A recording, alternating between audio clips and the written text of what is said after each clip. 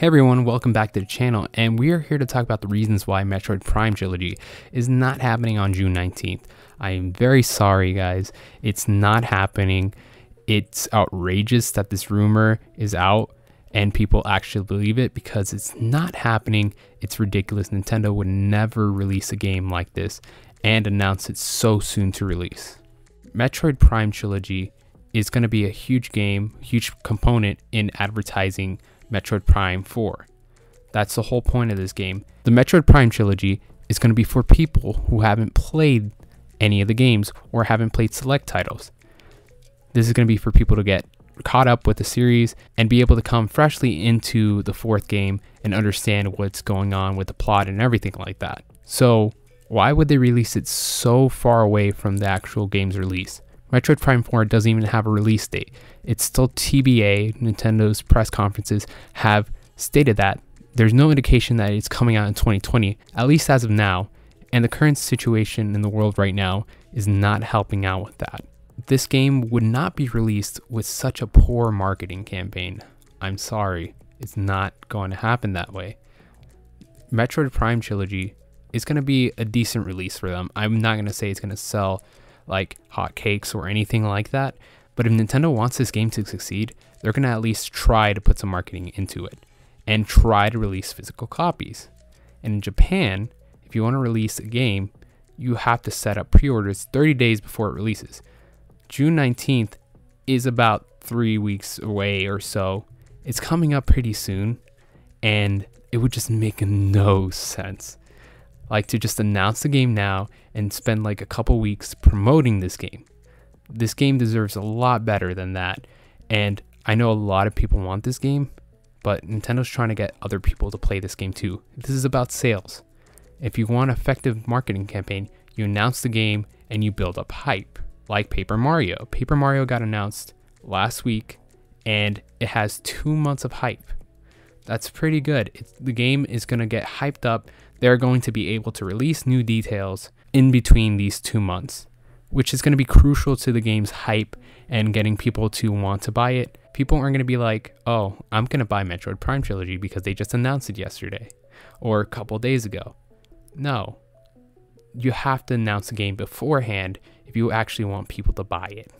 Regular people aren't going to be like, oh, I need to buy this game day one. They're probably going to be like, well, I need to look into it. I want to see how it is. I want to see more information about it. Can I have a little bit more time to think about it? And right now, with the pandemic going on, people don't want to be spending too much money. They're going to be focusing on buying essentials. And if they're going to buy a game, it should probably be announced a couple months in advance. Like Paper Mario, for example. That game got announced very recently and it's coming out in two months.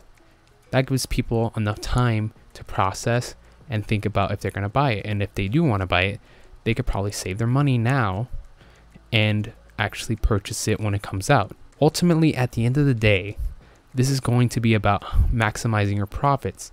If you want to maximize your profits, you're going to announce your game a little bit in advance. I'm not saying you announce it a year in advance, like Metroid Prime 4. You announce it a couple months before, you build up hype with information, and you release the game.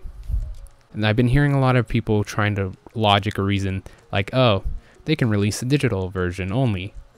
Well, that's very convenient to you, but that's not convenient to the rest of the world. Not everyone has great internet. That's a fact. Some people's internet runs so poorly, and especially in this age of digital games, it's definitely a burden for some. So I think a lot of people would want a physical copy rather than a digital copy. That's that's the nicest way I can say it. People would rather want a seamless experience and buy it physically.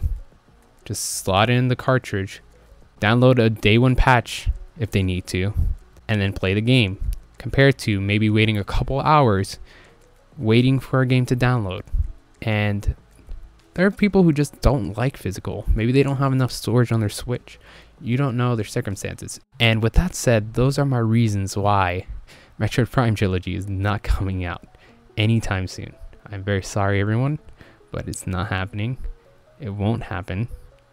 But I hope some of you guys can enjoy um, your backlogs or just purchase some games that already come out in the meantime. This video is a lot different than I usually do, but I hope it's something you guys liked. It's definitely different than what I usually do, but I won't know that unless you guys comment, like, subscribe, share it everywhere. Come on, help us out. um, we are definitely jumping up in subscribers, total views, all that stuff, and it's very much appreciated.